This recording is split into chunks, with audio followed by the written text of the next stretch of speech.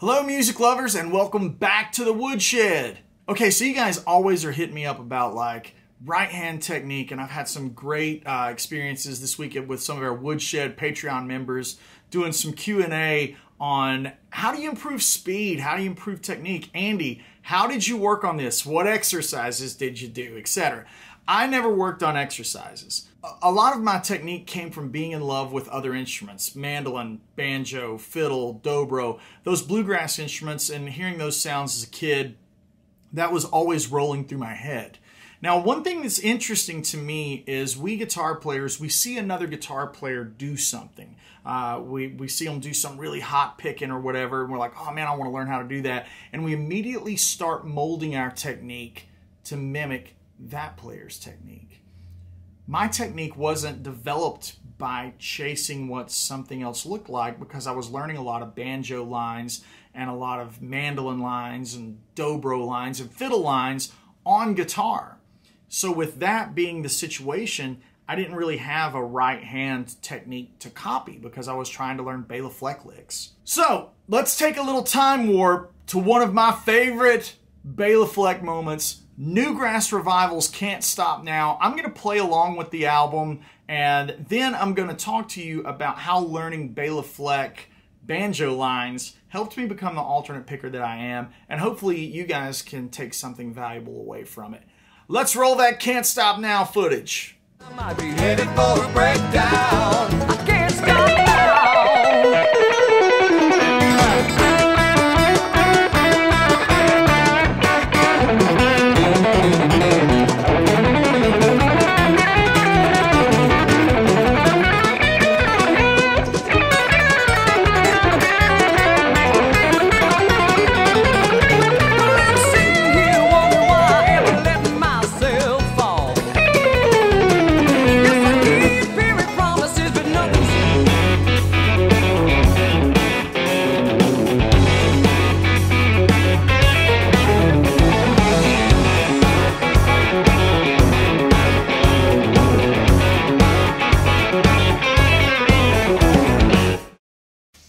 Guys, uh, this is going to be kind of fun because I'm going to use a distorted tone, kind of a rock tone.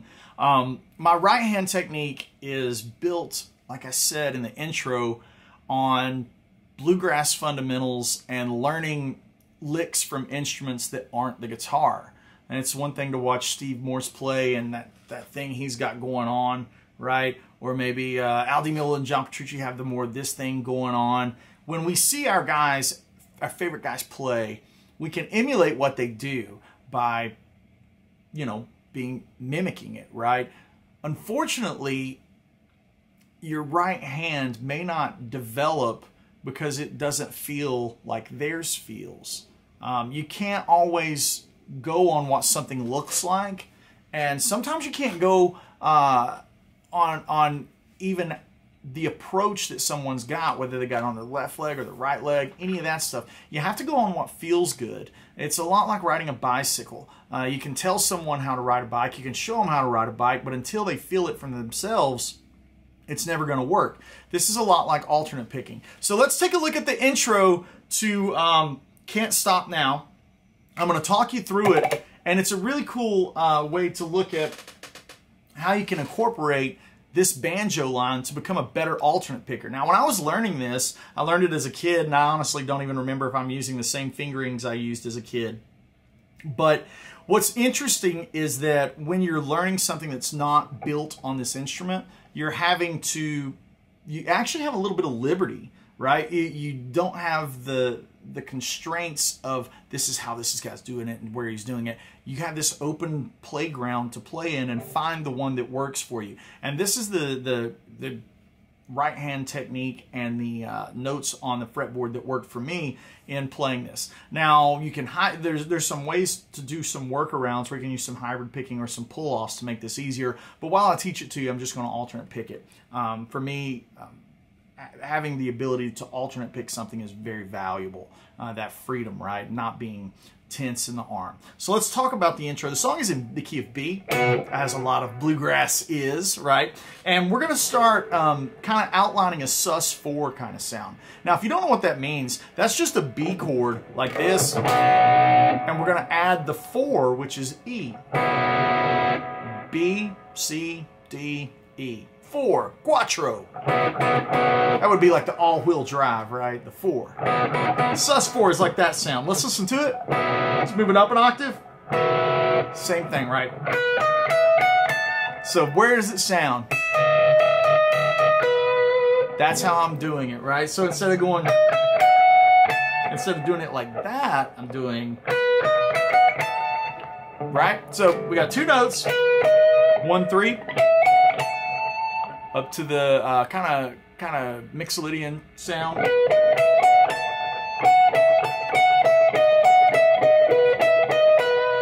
Very sequenced out. I'm gonna play it up to speed so I just got my mind right. Yep.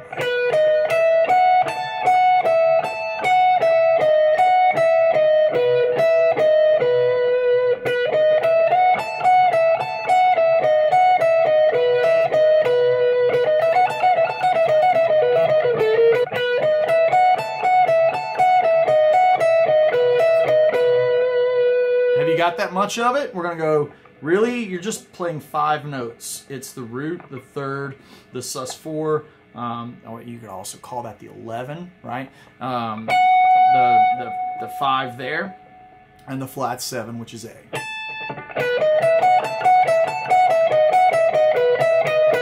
One more time for you.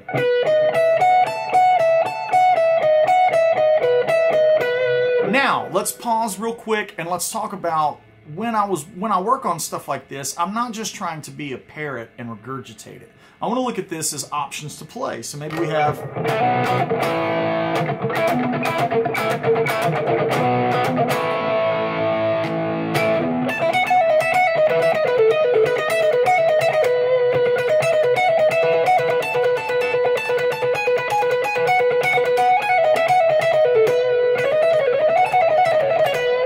So I'm, I'm looking at ways to just have some fun. As I'm learning something, it's not just about regurgitation. It's about looking at how I can have some fun and incorporate these shapes and the sound into my playing. Also just alternate picking through different combinations to make different melodies. That is the thing that I focused on as a kid to improve my right hand. I wasn't thinking about uh, exercises. I wasn't thinking about do this five times a day and you can alternate pick your butt off. Like it wasn't like that. It was thinking about music, creativity, working on all of those things, working on clarity. Um, note clarity was a big one. Working on no clarity, it's like almost I got fast as a byproduct of that, right? So let's take that again. Now here's the back half of it. So you're looking at this like uh, chromatic sound from the seven. And now this is where you can use your uh, hybrid and a pull off. Like that.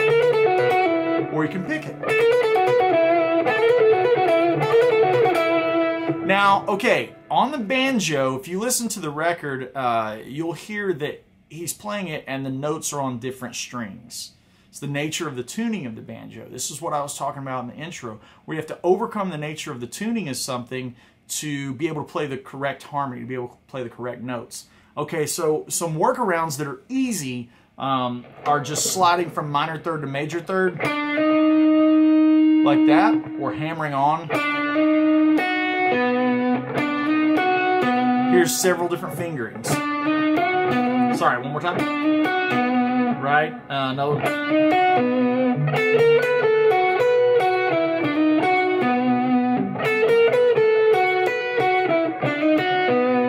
Um, I, I think I just did a little quick slide on the intro.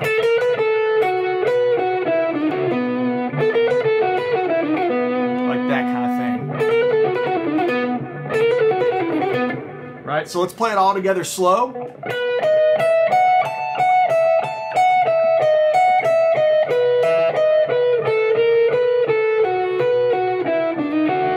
That's the fingering that I really liked. So one more time, let's work on that and play it really slow and really even.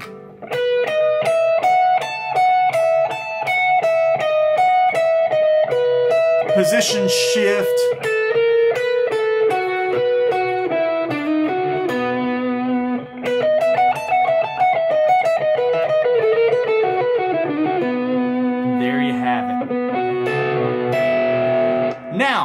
Guys want a deeper dive and learn some of the cool chromatic stuff that uh, that happened in the play along, or learn some of the ways that I was framing the E chord,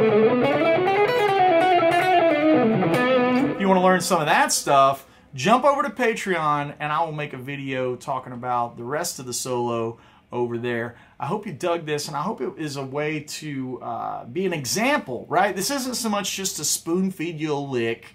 It's more to be an example. Find something that you love on an instrument that's not the guitar. Learn that on the guitar and alternate pick your way through it, uh, trying to emulate the sound and the intensity and get the notes clear. You'll find that you get faster as a byproduct. Working on all these other things, working on musicality, will improve your technique. When you work on technique, it doesn't necessarily improve your musicality. So that's what I want to leave you with. Work on music, technique will catch up. If you put technique first, mm, musicality might not catch up. All right, it's uh, as Ben Eller says, you'll be all dressed up with nowhere to go. Right.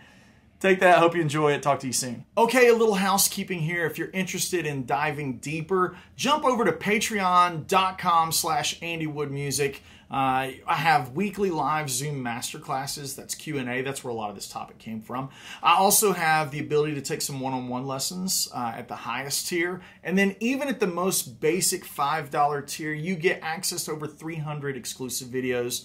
It's good value. Patreon.com slash AndyWoodMusic. You also get Axe-Fx patches and delay settings and all those tone things as well. Now, if you're interested in downloading uh, transcriptions, tabs, uh, hitting up all that kind of stuff, go to andywoodmusic.com, sign up for the email letter. Uh, you can see where I'm playing and who I'm on tour with and come hang out live. One last thing let's talk about. It's going to be so sick at the end of August. The Woodshed Guitar Experience. It is my guitar nerd mecca. It's the retreat of retreats. It's on a beautiful lakefront property right outside of Nashville. It's four days, three nights, and we've got some of the sickest players on the planet coming. We've got Brent Mason, Nick Johnston, Mark Lettieri, Tom Quayle, Martin Miller, Greg Koch, and more. Uh, just got Rhett Shull. If you like Rhett Shull's channel, he's going to be coming and hanging out with us. Guys, it's super, super limited. I want everyone that comes to have the VIP experience, not feel rushed and pressured to talk to your favorite players. So it's limited only to 120 slots. Now, obviously, we've been selling slots, so please, if you're interested, go to woodshedguitarexperience.com. When you pay for the event, that covers your lodging, your food, your alcohol, all the lessons, three concerts with all the players, jam alongs. We're doing gear giveaways. It's going to be amazing. WoodshedGuitarExperience.com. Thank you for hanging out this week in the Woodshed. We'll see you real soon.